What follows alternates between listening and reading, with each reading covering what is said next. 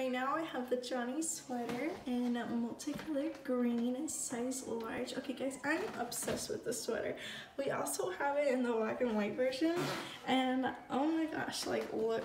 Okay, so the detail of it at the bottom I think is so darling. Like that's so cute with the little um, zigzag bottom. And then also we have it in the neckline too. So it is a very flattering um, sweater. So let's talk about the colors. The colors we have in a rust orange. Not so rusty but it is a gray, gray kind of colored um, toned orange.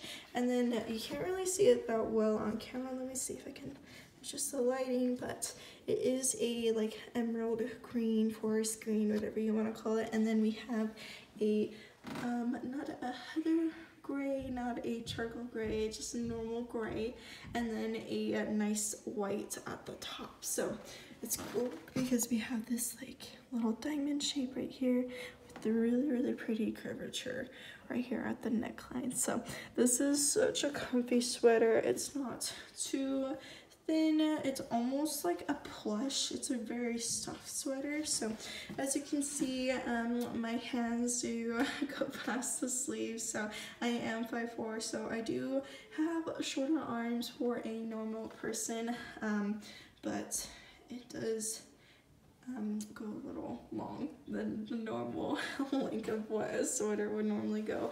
And then this is a normal length for me. I am wearing high-waisted jeans, but this is a normal length. So as you can see, it is very flattering on the sides too because it gives me the curvature I need within my hips and then also within my waist as well.